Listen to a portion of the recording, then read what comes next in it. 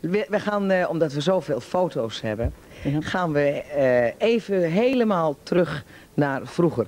Dat is van voor de oorlog en in de oorlog toen je met je man Koen de Corrita's vormde. Ja, ja, ja. Dat was Oh, toch leuk. een glorietijd, hè? Ja, nou, jawel, ja, toch, altijd eigenlijk.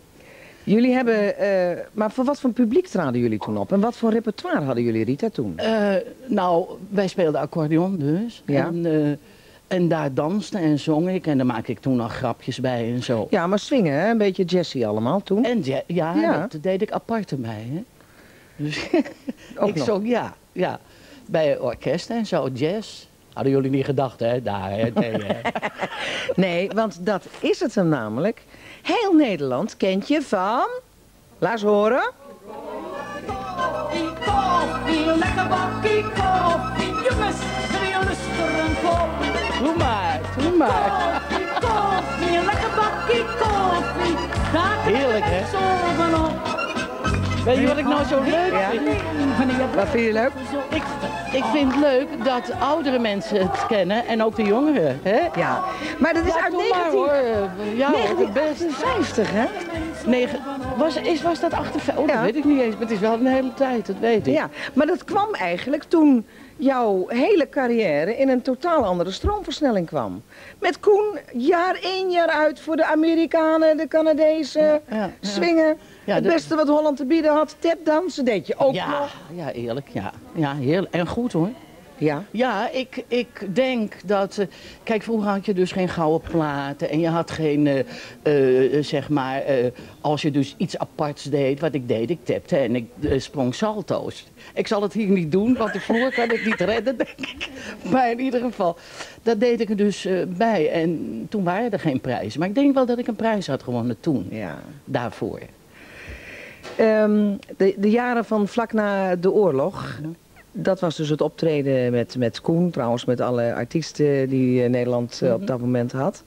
Wanneer kwamen de tv-shows voor de NCRV met Wayne de Mesquita? Eh, nou, dat is ook een tijd geleden. Hè? Ik, ik, Ook- ik, ik zou niet Jaren ik- iets 50? in de 60 denk Ja. ik. In de 60 Nou, maar eh, wat, wat ze ook eh, gemakshalve maar even vergeten zijn op de tribune... is dat jullie zelfs een inzending naar Montreux hebben gehad. Ja. En we hadden het waarschijnlijk gewonnen als het niet buiten mededingen was geweest. Ze hadden dus een, een andere show genomen die echt erg veel deed en goed deed. Maar dat is niet ingeslagen. Dat werd er dus al voor, voor de uitzending werd het er al uitgenomen. En toen kwamen ze allemaal naar ons toe en toen zeiden ze, en als jullie erin hadden gezeten, dat is sowieso de Chaplinprijs gehad. Oh, ja. Sowieso al. Hè? Dat was dus eh, waar het meest in gelachen werd. We waren bovendien ook nog de laatste show van de 70, dacht ik, die er toen ingestuurd waren. Hete dagen, dus je kan je voorstellen, die mensen liggen er half te slapen. en die veerden op. Nou, dus dat- dat- ik vind het heerlijk om daarop terug te Ja. kijken. Ik zal een beetje de beweging missen, die ik altijd heb gehad. Maar ja, ik heb een vlooienband afgedaan, dus ik zal genoeg bewegen. Tot dat betreft zit het toch goed. Zie je nog wel eens iemand van vroeger? Jawel. Ja, niet meer zo ontzettend veel, maar ik krijg er toch wel. eh, ja hoor. Hebben regelmatig. een, pas dus eh, van zo'n dus groot eh, een feestje gebouwd. met en zijn er kwamen er ook een heleboel, dus dat is wel leuk. Ja. Eh, heb, je, heb je daar behoefte aan om met de oude makkers van vroeger nog eens te zien? Nou, behoefte. eh, eh, ik heb het nog druk zat eigenlijk. Ja. Druk als dat ik eh, zou willen. Maar ik vind het gewoon leuk als ze komen. Ik vind het enig. Ja. Ik vind het enig als daar oude, oude collega's van me zijn. Jawel. Nou, dan komen we toch weer terug op dat vreselijke auto-ongeluk van een aantal jaren geleden, waardoor jij toch voor 70% eh, invalide bent verklaard. Je ging toen met de Hollandse sterren naar Amerika. De twee bussen hebben toen een, een, een eh, enorm ongeluk gekregen. Drie van de vrienden zijn eh, gedood. Het heeft op Manke Nelis, op Lis, op jou, om er even een paar mensen te noemen, een dermate stempel op hun leven gedrukt dat het nooit meer weg kan. Nee, dat kan ook niet. Ik eh, wou niet eh, al te droevig zijn met jou, want we, we moeten daar best feest mee vieren. En we gaan straks een glaasje drinken aan de tafel. Slotverrekening 60 jaar in het vak. Maar het is wel een van de redenen geweest dat de laatste jaren van jouw leven toch niet echt jubelend zijn verlopen. Nee, nee, nee, want ik heb daar kort na dat ongeluk, toen in Nederland weer een ongeluk gehad. Mijn auto totaal los, ik lag in het ziekenhuis weer. Het is iets wat, eh, wat je niet kan ontwijken. Ik denk dat dat gewoon in de sterren staat. Hè?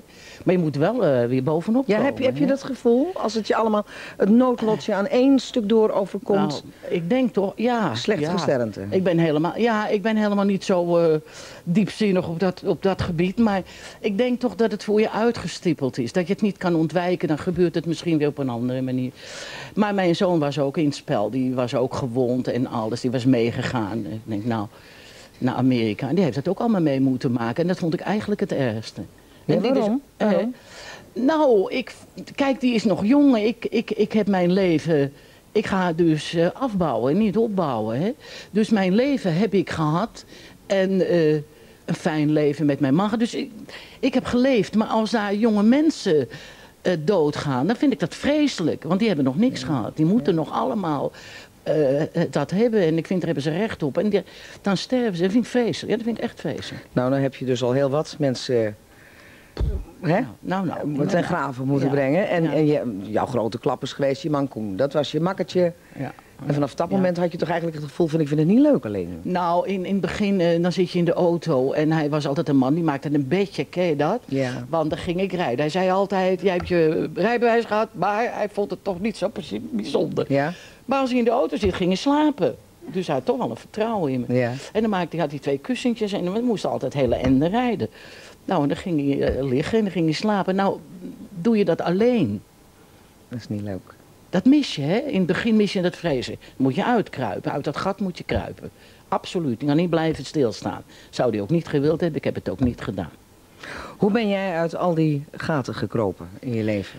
Eh, nou, ik moet zeggen, dus toen mijn man overleed. Ik kan er nu over praten. Ik heb er een hele tijd niet over kunnen praten.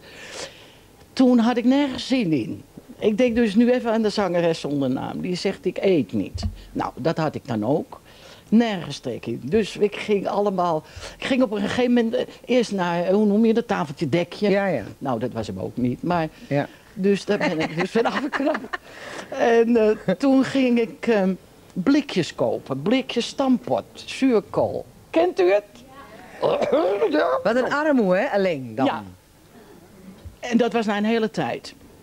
Daar nam ik een hapje van, want ik ben namelijk een enorme liefhebster van stampotten. En toen zei ik, Rita, dit kan niet. En vanaf die tijd ben ik gaan koken. Jezelf onder handen nemen Ja, met alles dit- wat er dit- gebeurt. Dit, dit kan gewoon niet. Ja. Hè? Je moet, je moet. Nee. Ja.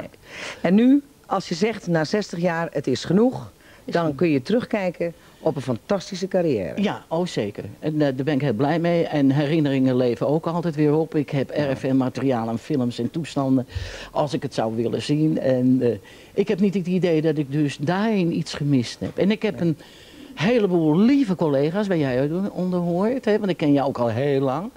Eh, eh, en dat is toch heerlijk om daarop terug Ja. te kijken. Hè? Tribune, geef er eens even een goed applaus.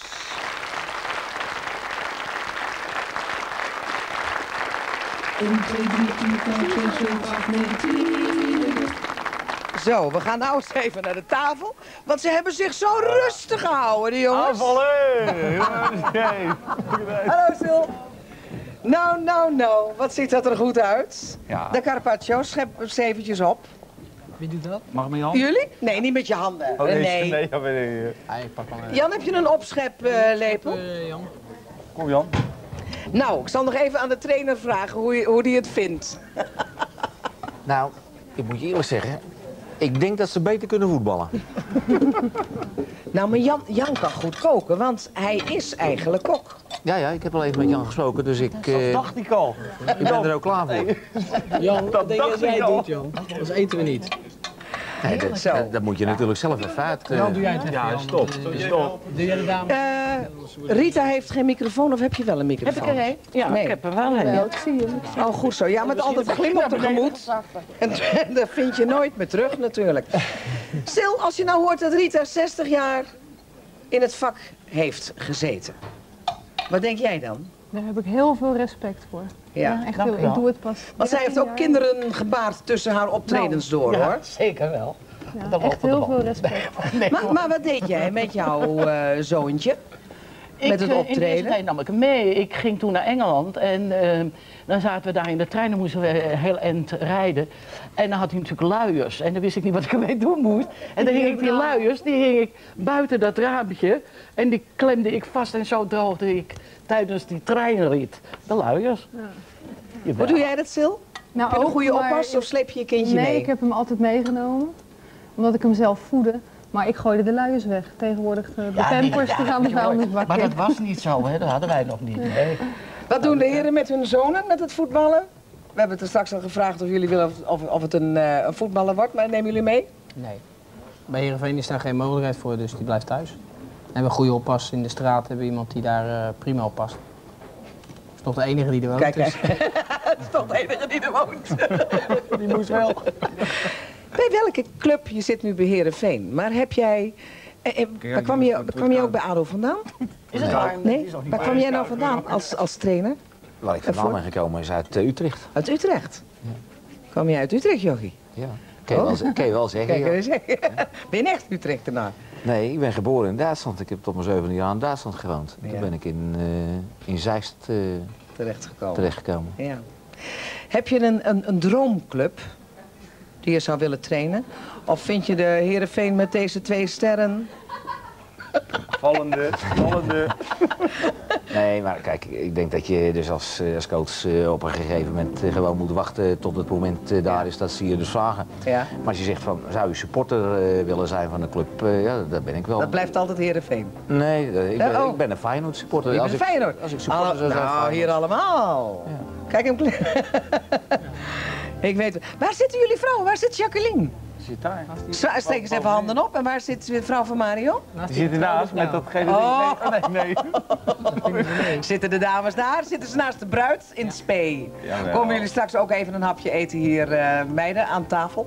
Oké, ik eh, schenk eventjes in. Eten jullie vast? Begin vast. Nou, Ja. Ik ga afscheid van u nemen. En ik ga u natuurlijk een fantastisch weekend toewensen namens ons allemaal. Rita, geniet van je pensioen. Pro, proost meisje. Mag Jongens, geniet van het voetballen. En thuis, geniet van alles maar wat het leven te bieden hebben. He- heeft, wou ik zeggen. Dag allemaal op het leven.